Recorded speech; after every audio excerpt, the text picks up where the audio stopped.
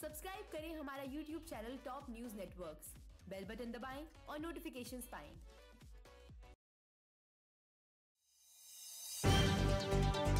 बॉलीवुड के मशहूर अभिनेता कादर खान के निधन के बाद उनके बेटे सरफराज फिल्मी दुनिया के सितारों से नाराज़ होते नज़र आए।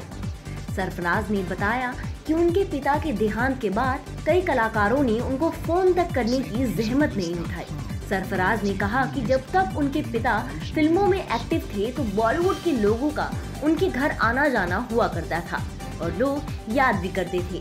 लेकिन जब कादर खान फ़िल्मों से दूर हुए तो लोग भी उनसे दूर होते चले गए।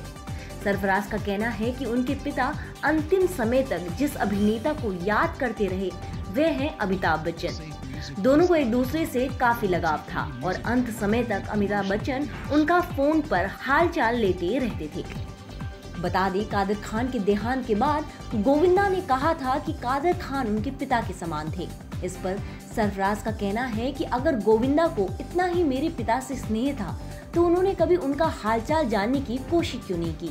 यहाँ तक कि पिता के इंतकाल के बाद भी उन्होंने फ़ोन तक नहीं किया। सरफराज का आगे कहना है कि मौत के बाद भी मेरे पिता के चेहरे पर मुस्कान थी। भले ही बॉलीवुड के लोगों ने आज कादिर खान को बुलाया हो, लेकिन उनका काम उन्हें ज़िंदा रखेगा। वे अपने काम की वजह से लोगों के दिलों में हमेशा ज़िंदा रहेंगे। सरफराज आगे कहते हैं कि मैं लोगों को आश्वस्त करता हूँ कि उन्हें हम भूलने नहीं देंगे। आपकी क्या राय है इस बारे में ज़रूर बताएँ हमें कमेंट करके। ऐसी और वीडियोस के लिए सब्सक्राइब करें हमारा चैनल टॉप न्यूज़ नेटवर्क धन्यवाद।